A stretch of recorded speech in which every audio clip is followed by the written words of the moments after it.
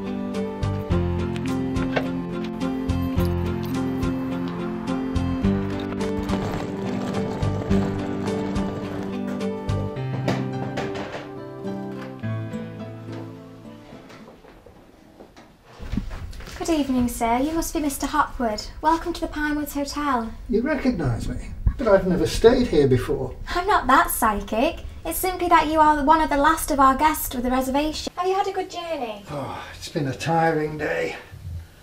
I must be getting too old for all this motoring. Even with a sat nav, I seem to spend too much time sitting in queues. Would you be kind enough to sign the register and let us know your car registration number? You can settle your bill in the morning before you leave. Can I open your account by swiping your card? Oh, if I can find it amongst all these. Ah, there we are.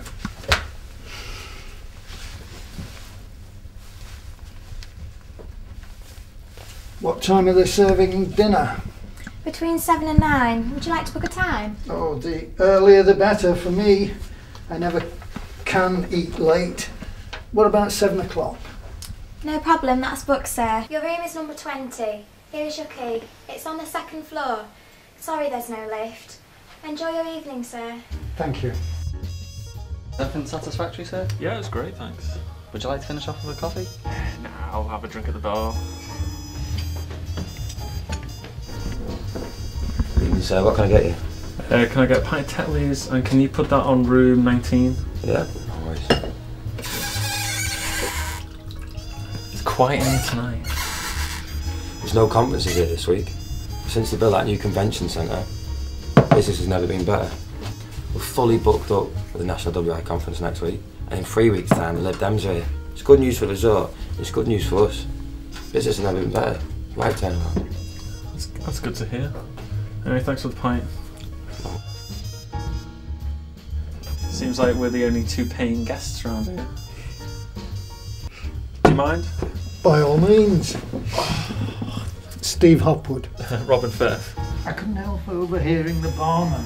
It's a good job we're not in here next week. The WI. I never can remember the words to Jerusalem. but their jam's pretty good.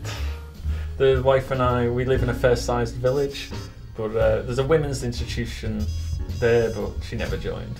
What line of work are you in? On the road, like me? Yeah, pretty much. Electronics. Um, we're doing pretty well considering the recession. I've got a car full of boxes of perfume samples, but the internet's taking over. Customers can order online without you going around knocking on their doors at inconvenient times. Yeah. You have to be pushy in this business or you get nowhere. Well, with electronics, they like to see face to face. They actually want you, you know, face to face. Well, you're very lucky. You said you were married. Yeah. Would have thought you'd still be playing the field, a young fella like you, especially in this business. You know, things happen, don't they? But, True. you know. Actually, I've got a picture of my kids here. Oh, good. Like to see that. Uh, there, it's, his name's Neil. It's great what you can do with these cameras, isn't it? Yeah. I bought him a big load of Lego and he just prefers to play with the box. That's kids. Tell me about them. Yeah. yeah. You know, even with all this travelling, I always make sure I'm home on a Sunday for the Formula One Grand Prix. Wouldn't miss that for the world. Refill, gents. Oh, thanks. Thanks, There Tony. you go, thanks. I know you can always record it, but it's not the same. You say you're into Formula One. I love Formula One. I went to Monaco circuit. They opened it the day before the qualifier for the general public, and I got to walk around the circuit.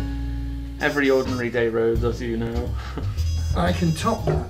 The brother-in-law got a couple of tickets for the British Grand Prix. We had a great day out at Silverstone, and it didn't rain. Do you know, I've just finished reading a book on the history of Formula One. You can borrow it if you like, and br- let me have it back after breakfast. yeah, that'd be great. I find it hard to sleep in strange beds, strange hotels, all that kind of thing. I'll go now. The second floor, room 20.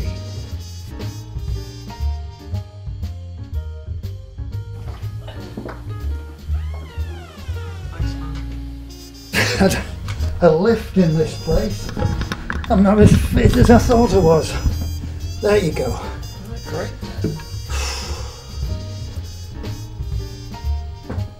One for the road. No thanks, Robin.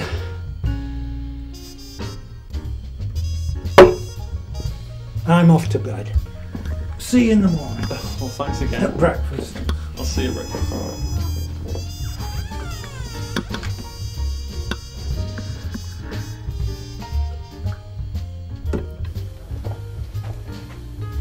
Chance for you to finish early. Yes. Good night, sir.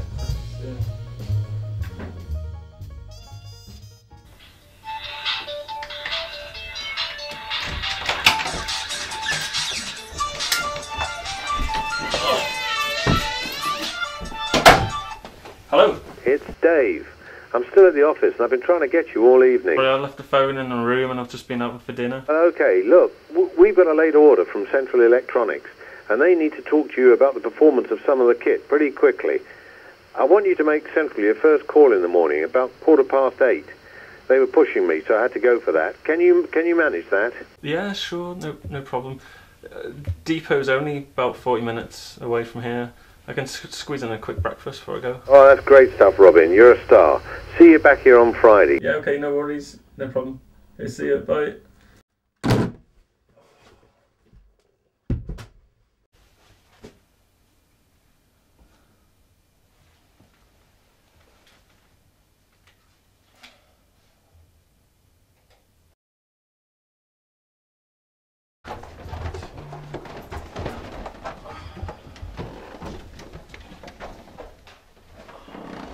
Yes.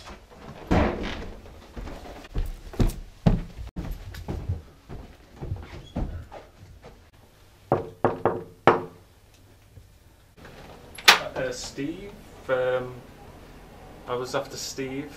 He, I was gonna let him return this book back, Oh, but um, uh, there's. n- Yeah, you must have the wrong room. There's no Steve here. What is it, Maureen? Well, this gentleman wants to return this book, but it's not ours, is it? What name did you say? Steve Hopwood. Uh, we had a drink last night, and he said it was room twenty. No, we've been here since Monday. You must have misheard him. Oh, well, I'll check with management, but I'm sorry to cause you trouble. Okay.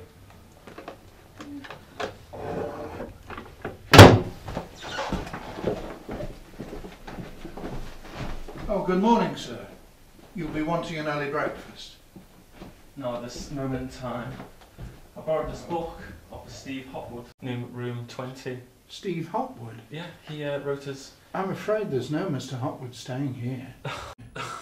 He wrote his number on a beer Room mat. 20. Yeah, we had a drink in the bar.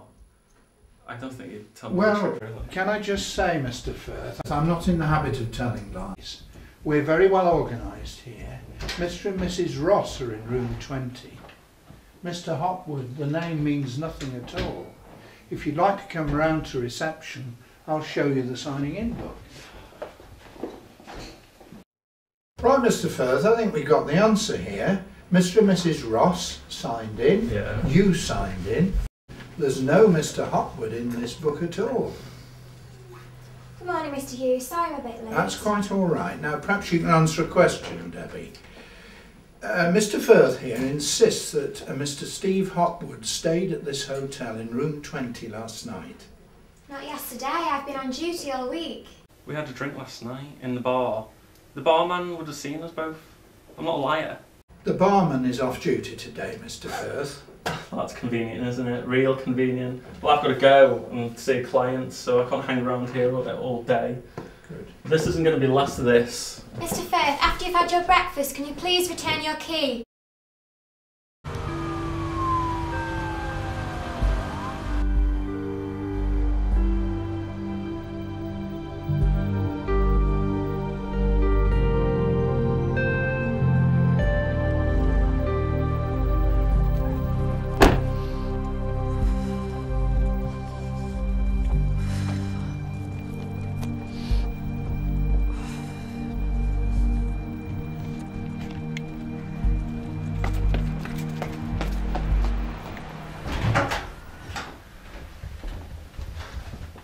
Firth, what are you doing here? What am I doing here? I know that you know about Steve Hopwood, and I'm not going to leave until I find out. People just don't disappear and reappear like magic or something.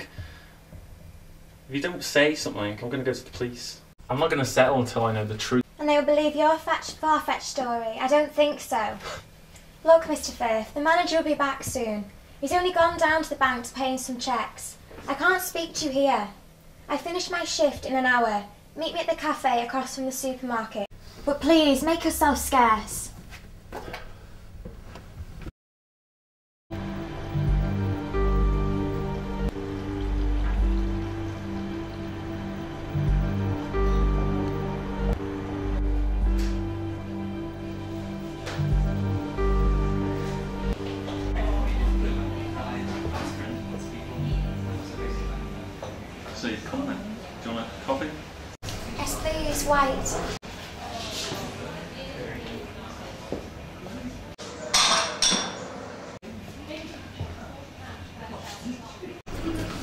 There's your coffee.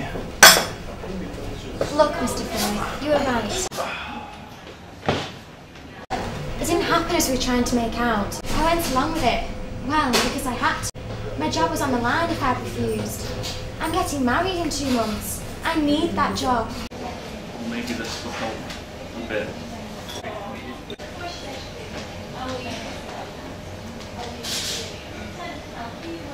I know we were lying, but nobody was getting hurt. Mr. Hopwood was already dead. There was nothing we could do about that. It must have been something dramatic that killed him to go to all those lengths to conceal it. Mr. Hopwood had been on a business trip to Nigeria and caught what the doctors thought was, was malaria, an unpleasant disease but treatable. On Wednesday night, he rang reception just after midnight as he was feeling seriously unwell. When paramedics arrived. He was unconscious, and the decision was made to take him to the isolation ward at the infirmary. It seems he died soon after arriving there. I mean, he did say he was tired at the bar, but I don't think he was ill. I didn't think it was that serious. It turns out it wasn't malaria after all, but some kind of infectious tropical disease. When the authorities informed us of that on early Thursday morning, I was called in and set to work cleaning and disinfecting the room 20. It was a busy night. I managed an hour or so sleep. No wonder I was late for my shift. Fortunately, with so few guests, no one else was disturbed that night. So you met Mr. and Mrs. Ross, who were brought in to cover our tracks. If I might use an inappropriate expression, don't you think this conspiracy was a bit overkill? Not at all. If anyone else had found out about the illness and its dangers, our hotel would stay empty and in time have to close, just when business was on the up. As it was, the authorities were on our side. They had a lot to lose as well. Mr. Firth, this must stay our secret. Please don't breathe a word of this to anyone. Too many jobs and too many people's lives are at stake. I can't stay any longer. I must get home. Goodbye.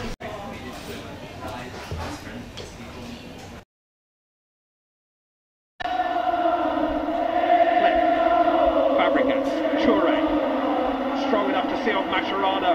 It's Fabregas. It's space for Diaby, well led by Adebayor. It of once more. Reina came off his line.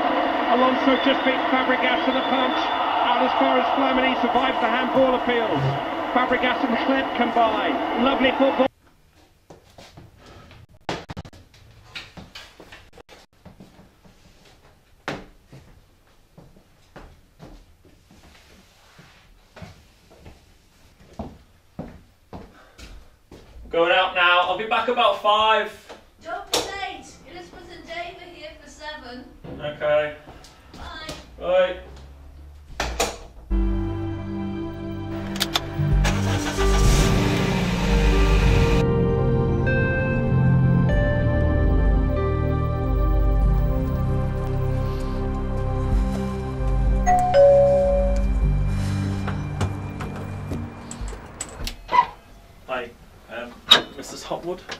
No, I'm Mrs. Hopwood's sister. Her husband died suddenly earlier this week and she's very upset. I'm sorry to hear that. Um, I borrowed a book off her, Stephen, and uh, was hoping she was in so I could return it. Well, I can pass it on to her. Um, you said you were you saw Stephen. Um, when would that have been? Um, well, that was Wednesday night. We had a drink at a hotel. Wednesday night. Yeah. That was the night he died. Um, the hospital rang my sister to say that he'd been taken ill, but by the time uh, she arrived at the hospital, he was already dead. A massive heart attack, they told her. Um, she was absolutely devastated, so they asked me to come. Well, I mean, uh, when I met Steve, he was a really nice guy. It felt like I knew him all my life, really. Uh, give my condolences to your sister, and I, I, I'm sorry for her loss and everything. I will do. I'll, I'll tell her that you called, and thank you for taking the time and trouble to pass this back to us. That's no problem. See you.